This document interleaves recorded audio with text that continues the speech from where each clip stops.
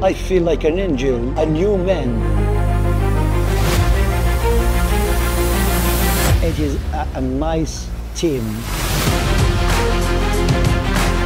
I have to thank everybody from planning, from doctor, from translator. I want to recommend everybody to come here in Istanbul, especially Prof Clinic.